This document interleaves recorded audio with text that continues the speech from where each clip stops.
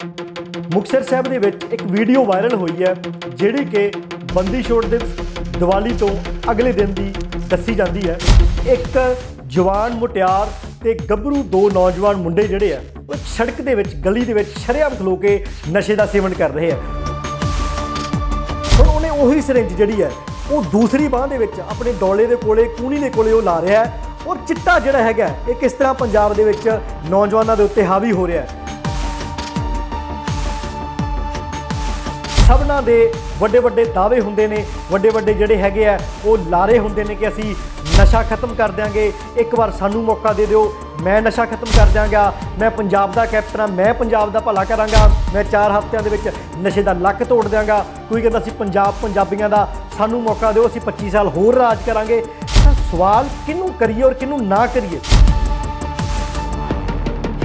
ਉਹ ਪੰਜਾਬ ਦੀ ਪੰਜਾਬ ਪੁਲਿਸ ਜਿਹੜੀ ਕਹਿੰਦੀ ਹੈ, ਅਸੀਂ ਬਹੁਤ ਅਹ, ਜਿਹੜਾ ਐਕਟਿਵ ਹੋ ਕੇ ਕੰਮ ਕਰਦੇ ਆ ਸਾਨੂੰ ਤੇ ਜੀ ਤੁਰੀ ਜਾਂਦੀ ਕੀੜੀ ਦਿਸ ਜਾਂਦੀ ਹੈ ਉਹਨਾਂ ਨੂੰ ਨਸ਼ਾ ਕਰਦੇ ਨੌਜਵਾਨ ਨਹੀਂ ਦਿਸ ਰਹੇ ਕਿਹੜੀਆਂ ਏਜੰਸੀਆਂ ਕਿਹੜੀਆਂ ਧਿਰਾਂ ਕਿਹੜੀਆਂ ਸਟੇਟ ਦੀਆਂ ਪਾਲਿਸੀਆਂ ਪੰਜਾਬ ਦੀ ਜਵਾਨੀ ਨੂੰ ਚਿੱਟੇ ਦੇ ਵਿੱਚ ਡੋਬਣਾ ਚਾਹੁੰਦੀਆਂ ਨੇ ਕੀ ਕਿਤੇ ਨੰਗੀਆਂ ਹੋਣਗੀਆਂ ਜਾਂ ਨਹੀਂ ਹੋਣਗੀਆਂ ਜਿਸ ਸ਼ਖਸ ਨੇ ਵੀਡੀਓ ਬਣਾ ਕੇ ਇਹ ਸਾਨੂੰ ਭੇਜੀ ਹੈ ਉਹਨਾਂ ਦਾ ਨਾਮ ਹਰਮੀਤ ਸਿੰਘ ਬੇਦੀ ਹੈ ਉਹ ਖੁਦ ਇੱਕ ਸਰਕਾਰੀ ادارے ਦੇ ਵਿੱਚ ਨੌਕਰੀ ਕਰਦੇ ਆ ਉਹਨਾਂ ਨੇ ਕਿਹਾ ਮੈਂ ਜਦੋਂ ਇਹਨਾਂ ਨੂੰ ਪੁੱਛਿਆ ਵੀ ਨਸ਼ਾ ਕਿੱਥੋਂ ਮਿਲਿਆ ਹੈ ਕਹਿੰਦਾ ਉਹਨਾਂ ਨੇ ਬੜੇ ਆਰਾਮਦਾਰੀ ਨਾਲ ਕਹਿ ਕਹਿ ਦਿੱਤਾ ਕਿ ਮੁਕਤਸਰ ਦਾ ਰੇਲਵੇ ਸਟੇਸ਼ਨ ਹੈ ਜੀ, ਕੋਲੇ ਆ, ਫਲਾਣੇ ਬੰਦੇ ਨਸ਼ਾ ਵੇਚਦੇ ਆ। ਅਜੇ ਤੱਕ ਮੁਕਤਸਰ ਸਾਹਿਬ ਦੇ ਸਿਵਲ ਪ੍ਰਸ਼ਾਸਨ, ਪੁਲਿਸ ਪ੍ਰਸ਼ਾਸਨ ਸਰਕਾਰ ਵੱਲੋਂ ਇਸ ਵੀਡੀਓ ਦੇ ਉੱਤੇ ਇੱਕ ਵੀ ਸਟੇਟਮੈਂਟ ਨਹੀਂ ਜਾਰੀ ਹੋਈ। ਕਿਹੜੀ ਵੱਡੀ ਮਜਬੂਰੀ ਹੈ ਕਿ ਸਰਕਾਰ ਵੀ ਫੇਲ ਪ੍ਰਸ਼ਾਸਨ ਵੀ ਫੇਲ ਪੁਲਿਸ ਵੀ ਫੇਲ ਪਰ ਨਸ਼ਾ ਵੇਚਣ ਵਾਲੇ ਜਿਹੜੇ ਨੇ, ਉਹ ਪਾਸ ਪੰਜਾਬ ਦੇ ਮੁੱਖ ਮੰਤਰੀ ਭਗਵੰਤ ਮਾਨ ਨੇ ਕਿਹਾ ਕਿ ਮੇਰੇ ਕੋਲ ਕੋਈ ਗਿੱਦੜ ਸਿੰਘੀ ਤਾਂ ਹੈ ਨਹੀਂ, ਮੈਂ ਨਸ਼ਾ ਖਤਮ ਕਰ ਦਿਆਂ। ਮਾਨ ਸਾਹਿਬ, ਫਿਰ ਤੁਸੀਂ ਪਹਿਲਾਂ ਵਾਅਦਾ ਹੀ ਨਾ ਕਰ।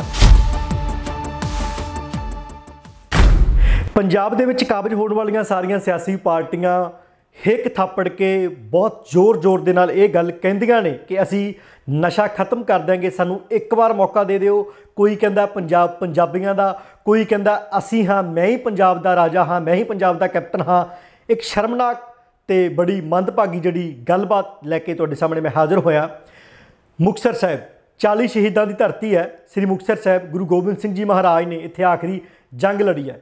ਮੁਕਤਸਰ ਸਾਹਿਬ ਦੇ ਵਿੱਚ ਇੱਕ ਵੀਡੀਓ ਵਾਇਰਲ ਹੋਈ ਹੈ, ਜਿਹੜੀ ਕਿ ਬੰਦੀ ਛੋੜ ਦਿਵਸ ਦੀਵਾਲੀ ਤੋਂ ਅਗਲੇ ਦਿਨ ਦੀ ਦੱਸੀ ਜਾਂਦੀ ਹੈ।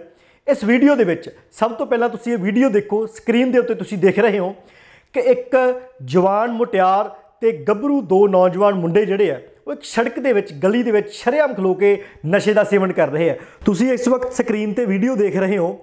ਇੱਕ ਨੌਜਵਾਨ ਮੁੰਡਾ ਜਿਹਦੀ ਉਮਰ ਅੰਦਾਜ਼ਨ ਜਿਹੜੀ ਹੈ, ਅਸੀਂ ਕੈਮਰੇ ਰਾਹੀਂ ਅੰਦਾਜ਼ਾ ਲਾ ਸਕਦੇ ਵੀ ਸ਼ਾਇਦ 20 ਸਾਲ ਤੋਂ ਉੱਤੇ ਨਹੀਂ ਹੋਏਗੀ।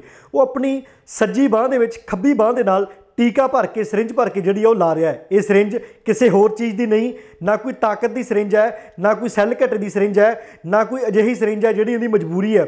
ਇਹ ਉਹ ਦਲਦਲ ਹੈ ਜਿਹੜੀ ਚਿੱਟਾ ਪੰਜਾਬ ਦੀ ਜਵਾਨੀ ਨੂੰ ਘੁਣ ਵਾਂਗ ਖਾ ਰਿਹਾ ਉਹ ਨੌਜਵਾਨ ਨੇ ਆਪਣੀ ਬਾਹ ਦੇ ਵਿੱਚ ਸੂਈ ਲਾ ਲਈ ਹੈ। ਪੰਜਾਬ ਜਿਹੜਾ ਕਿ ਸੂਰਮਿਆਂ ਦੀ ਧਰਤੀ ਕਿਹਾ ਜਾਂਦਾ ਸੀ, ਹੁਣ ਉਹਨੇ ਉਹੀ ਸਿਰਿੰਜ ਜਿਹੜੀ ਹੈ, ਉਹ ਦੂਸਰੀ ਬਾਹ ਦੇ ਵਿੱਚ ਆਪਣੇ ਡੋਲੇ ਦੇ ਕੋਲੇ, ਕੂਣੀ ਦੇ ਕੋਲੇ ਉਹ ਲਾ ਰਿਹਾ ਹੈ। ਔਰ ਚਿੱਟਾ ਜਿਹੜਾ ਹੈਗਾ, ਇਹ ਕਿਸ ਤਰ੍ਹਾਂ ਪੰਜਾਬ ਦੇ ਵਿੱਚ ਨੌਜਵਾਨਾਂ ਦੇ ਉੱਤੇ ਹਾਵੀ ਹੋ ਰਿਹਾ ਹੈ? ਇਹ ਵੀਡੀਓ ਮੁਕਤਸਰ ਸਾਹਿਬ ਦੇ ਮੇਨ ਬਾਜ਼ਾਰ ਸ਼ਾਮਾ ਨਰਸ ਵਾਲੀ ਗਲੀ ਦੀ ਹੈ। ਸ਼ਾਮਾ ਨਰਸ ਵਾਲੀ ਗਲੀ ਜਿਹੜੀ ਹੈ, ਸ੍ਰੀ ਮੁਕਤਸਰ ਸਾਹਿਬ ਦੇ ਸ਼ਹਿਰੀ ਪੁਲਿਸ ਸਟੇਸ਼ਨ ਤੋਂ ਮਹਿਜ ਕੁਝ ਮੀਟਰ ਦੀ ਦੂਰੀ ਤੇ ਹੈ। ਇਹਦੇ ਬਿਲਕੁਲ ਲਾਗੇ ਧਾਰਮਿਕ ਮੰਦਿਰ ਵੀ ਹੈ। ਇਹਦੇ ਥੋੜਾ ਜਿਹਾ ਦੂਰੀ ਤੇ ਗੁਰਦੁਆਰਾ ਸਾਹਿਬ ਵੀ ਹੈ। ਨਾਲ ਹੀ ਬਿਲਕੁਲ ਮਸਜਿਦ ਵੀ ਹੈ। ਤਾਂ ਧਾਰਮਿਕ ਸਥਾਨਾਂ ਦੇ ਨੇੜੇ, ਪੁਲਿਸ ਪ੍ਰਸ਼ਾਸਨ ਦੇ ਅੱਡੇ ਦੇ ਨੇੜੇ ਸ਼ਰੇਆਮ ਦਿਨ ਦਿਹਾੜੇ ਗਲੀ ਦੇ ਵਿੱਚ ਖਲੋ ਕੇ ਇੱਕ ਜਵਾਨ ਧੀ ਦੋ ਗੱਭਰੂ ਮੁੰਡੇ ਜਿਹੜੇ ਆ, ਨਸ਼ੇ ਦਾ ਸੇਵਨ ਕਰ ਰਹੇ ਆ। ਬਹੁਤ ਸ਼ਰਮਨਾਕ ਗੱਲ ਵੀ ਹੈ, ਪਰ ਸਵਾਲ ਬਹੁਤ ਸਾਰੇ ਖੜੇ ਹੋ ਜਾਂਦੇ ਨੇ। ਪੰਜਾਬ ਦੇ ਵਿੱਚ ਜਿੰਨੀਆਂ ਪਾਰਟੀਆਂ ਨੇ ਰਾਜ ਕੀਤਾ, ਜਿੰਨੀਆਂ ਸਿਆਸੀ ਪਾਰਟੀਆਂ ਰਾਜ ਕਰ ਗਈਆਂ ਨੇ ਜਾਂ ਕਰਨਾ ਚਾਹੁੰਦੀਆਂ ਨੇ, ਸਭਨਾਂ ਦੇ ਵੱਡੇ ਵੱਡੇ ਦਾਅਵੇ ਹੁੰਦੇ ਨੇ। ਵੱਡੇ ਵੱਡੇ ਜਿਹੜੇ ਹੈਗੇ ਆ, ਉਹ ਲਾਰੇ ਹੁੰਦੇ ਨੇ ਕਿ ਅਸੀਂ ਨਸ਼ਾ ਖਤਮ ਕਰ ਦਿਆਂਗੇ। ਇੱਕ ਵਾਰ ਸਾਨੂੰ ਮੌਕਾ ਦੇ ਦਿਓ, ਮੈਂ ਨਸ਼ਾ ਖਤਮ ਕਰ ਦਿਆਂਗਾ, ਮੈਂ ਪੰਜਾਬ ਦਾ ਕੈਪਟਨ ਆ, ਮੈਂ ਪੰਜਾਬ ਦਾ ਭਲਾ ਕਰਾਂਗਾ, ਮੈਂ 4 ਹਫ਼ਤਿਆਂ ਦੇ ਵਿੱਚ ਨਸ਼ੇ ਦਾ ਲੱਕ ਤੋੜ ਦਿਆਂਗਾ। ਕੋਈ ਕਹਿੰਦਾ ਅਸੀਂ ਪੰਜਾਬ ਪੰਜਾਬੀਆਂ ਦਾ, ਸਾਨੂੰ ਮੌਕਾ ਦਿਓ, ਅਸੀਂ 25 ਸਾਲ ਹੋਰ ਰਾਜ ਕਰਾਂਗੇ। ਤਾਂ ਸਵਾਲ ਕਿਹਨੂੰ ਕਰੀਏ ਔਰ ਕਿਹਨੂੰ ਨਾ ਕਰੀਏ, ਕਿਹਨੂੰ ਛੱਡ ਦਈਏ? ਉਹ ਪੰਜਾਬ ਦੀ ਪੰਜਾਬ ਪੁਲਿਸ, ਜਿਹੜੀ ਕਹਿੰਦੀ ਹੈ, ਅਸੀਂ ਬਹੁਤ ਜਿਹੜਾ ਐਕਟਿਵ ਹੋ ਕੇ ਕੰਮ ਕਰਦੇ ਆ ਸਾਨੂੰ ਤੇ ਜੀ ਤੁਰੀ ਜਾਂਦੀ, ਕੀੜੀ ਦਿਸ ਜਾਂਦੀ ਹੈ। ਉਹਨਾਂ ਨੂੰ ਨਸ਼ਾ ਕਰਦੇ, ਨੌਜਵਾਨ ਨਹੀਂ ਦਿਸ ਰਹੇ।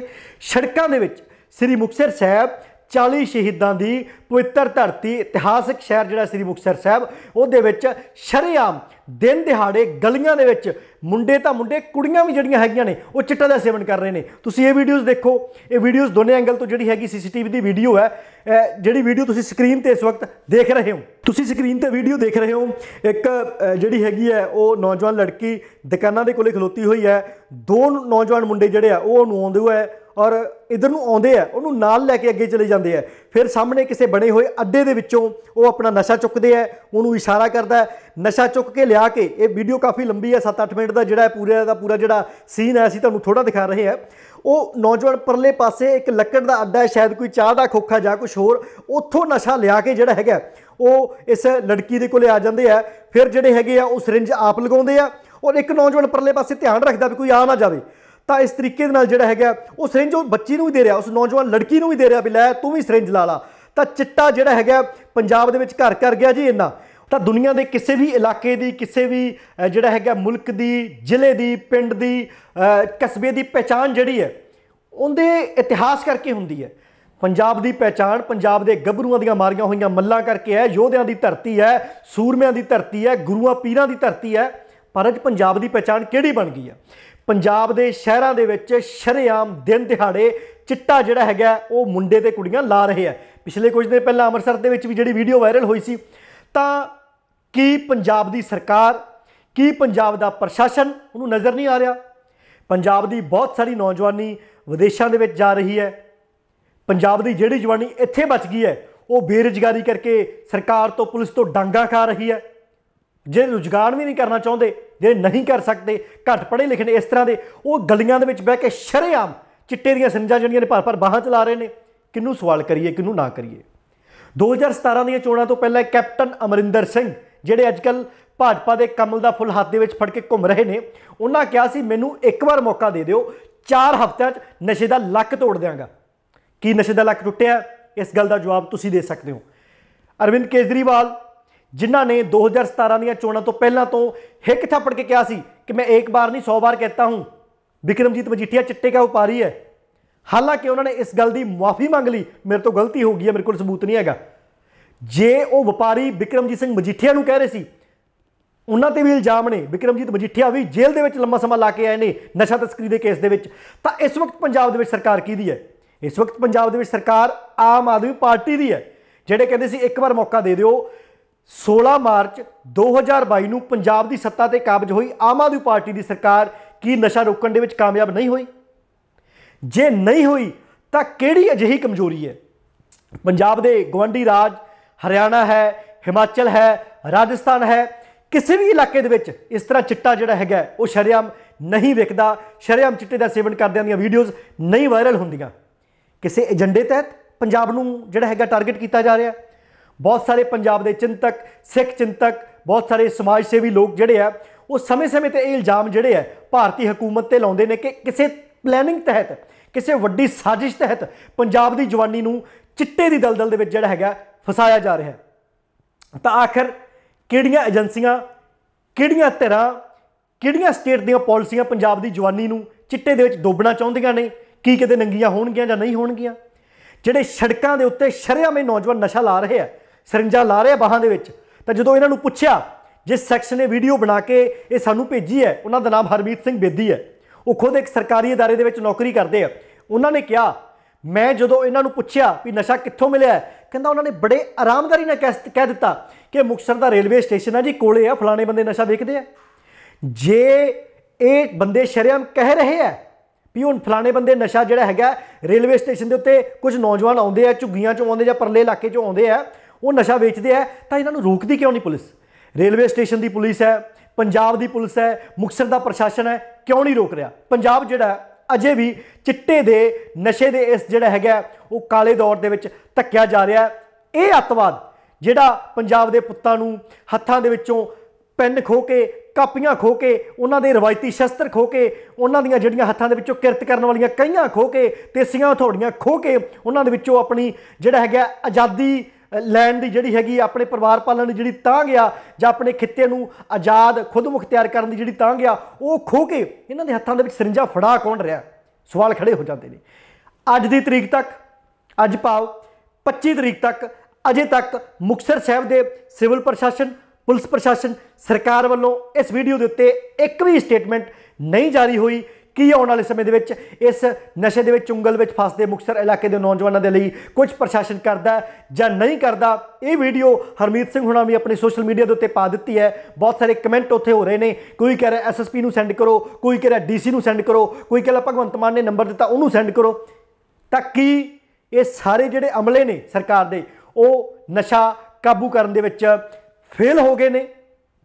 ਕਿਹੜੀ ਵੱਡੀ ਮਜਬੂਰੀ ਹੈ ਕਿ ਸਰਕਾਰ ਵੀ ਫੇਲ ਪ੍ਰਸ਼ਾਸਨ ਵੀ ਫੇਲ, ਪੁਲਿਸ ਵੀ ਫੇਲ, ਪਰ ਨਸ਼ਾ ਵੇਚਣ ਵਾਲੇ ਜਿਹੜੇ ਨੇ, ਉਹ ਪਾਸ। ਸ਼ਰੇਆਮ ਜਿਹੜਾ ਹੈਗਾ ਨਸ਼ਾ ਵੇਚਿਆ ਜਾ ਰਿਹਾ। ਬਹੁਤ ਸਾਰੇ ਸਵਾਲ ਨੇ। ਤੁਸੀਂ ਆਪਣੀ ਰਾਏ ਦਿਓ। ਤੁਹਾਨੂੰ ਕੀ ਲੱਗਦਾ ਪੰਜਾਬ ਦੇ ਵਿੱਚ ਨਸ਼ਾ ਅਜੇ ਵੀ ਪਹਿਲਾਂ ਦੇ ਵਾਂਗ ਹੈ ਜਾਂ ਮੌਜੂਦਾ ਸਰਕਾਰ ਨੇ ਬਹੁਤ ਜ਼ਿਆਦਾ ਜਿਹੜਾ ਹੈਗਾ ਕੰਟਰੋਲ ਕਰ ਲਿਆ? ਇੱਕ ਗੱਲ ਮੈਨੂੰ ਇੱਥੇ ਹੋਰ ਜਿਹੜੀ ਚੇਤੇ ਆ ਗਈ।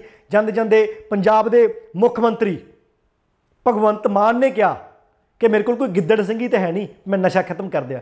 ਮਾਨ ਸਾਹਿਬ, ਫਿਰ ਤੁਸੀਂ ਪਹਿਲਾਂ ਵਾਅਦਾ ਹੀ ਨਾ ਕਰਦੇ। ਤੁਸੀਂ ਕਹਿੰਦੇ ਤੇ ਮੈਂ ਕੋਸ਼ਿਸ਼ ਕਰੂੰਗਾ। ਤੁਸੀਂ ਕਿਹਾ ਸੀ ਕਰ ਦਿਆਂਗੇ। ਕੈਪਟਨ ਅਮਰਿੰਦਰ ਸਿੰਘ ਨੇ ਵੀ ਕਿਹਾ ਸੀ 4 ਹਫ਼ਤੇ 'ਚ ਨਸ਼ੇ ਦਾ ਲੱਕ ਤੋੜ ਦਿਆਂਗੇ। ਲੱਕ ਤੇ ਕੀ ਟੁੱਟਣਾ ਸੀ? ਗਿੱਟਾ ਵੀ ਨਹੀਂ ਟੁੱਟਾ। ਤਾਂ ਪੰਜਾਬ ਦੇ ਵਿੱਚ ਸ਼ਰੇਆਮ ਜਿਹੜਾ ਹੈਗਾ, ਉਹ ਨਸ਼ਾ ਵਿਕ ਰਿਹਾ ਹੈ। ਵੇਚਣ ਵਾਲੇ ਵੇਚ ਰਹੇ ਨੇ, ਖਰੀਦਣ ਵਾਲੇ ਖਰੀਦ ਰਹੇ ਨੇ। ਪਿਛਲੇ ਦਿਨੀ ਮੁਕਤਸਰ ਇਲਾਕੇ ਦੇ ਪਿੰਡ ਮਿੱਡਾ ਦੇ ਵਿੱਚ ਅਸੀਂ ਇੱਕ ਖਬਰ ਖਬਰ ਜਿਹੜੀ ਹੈਗੀ ਕਵਰੇਜ ਕੀਤੀ ਸੀ। ਸਾਡੀ ਟੀਮ ਨੇ ਅੰਮ੍ਰਿਤਸਰ ਸਾਹਿਬ ਦੇ ਵਿੱਚ ਇੱਕ ਖਬਰ ਕਵਰ ਕੀਤੀ ਸੀ। ਨੌਜਵਾਨ ਲੜਕੀ ਜਿਹੜੀ ਹੈ, ਸੜਕ ਦੇ ਉੱਤੇ ਲੜ ਖੜਾ ਰਹੀ ਸੀ। ਨਸ਼ਾ ਪੰਜਾਬ ਦੇ ਵਿੱਚ ਜਿਉਂਦਾ ਤਿਉਂ ਹੈ। ਆਓ ਅਸੀਂ ਵੀ ਆਪਣੀ ਕੋਸ਼ਿਸ਼ ਕਰੀਏ, ਆਪਣਾ ਫਰਜ਼ ਨਿਭਾਈਏ, ਸਰਕਾਰ ਦੇ ਕੰਨਾਂ ਤੱਕ ਜਿਹੜਾ ਹੈਗਾ ਆਵਾਜ਼ ਪਹੁੰਚਾਈਏ ਔਰ ਸਮਾਜ ਸੇਵੀ ਸੰਸਥਾਵਾਂ ਪੰਜ ਧਾਰਮਿਕ ਸੰਸਥਾਵਾਂ ਸਾਰੀਆਂ ਉੱਠ ਕੇ ਸਰਕਾਰ ਨੂੰ ਸਵਾਲ ਕਰਨ ਜਿਨ੍ਹਾਂ ਦੀ ਜ਼ਿੰਮੇਵਾਰੀ ਬਣ ਜਾਂਦੀ ਹੈ ਕਿ ਨਸ਼ਾ ਪੰਜਾਬ ਦੇ ਵਿੱਚ ਕੰਟਰੋਲ ਕਿਉਂ ਨਹੀਂ ਕੀਤਾ ਜਾ ਰਿਹਾ। ਦੇਖਦੇ ਰਹੋ ਪੰਜਾਬ ਕੇ ਟੀਵੀ ਧੰਨਵਾਦ।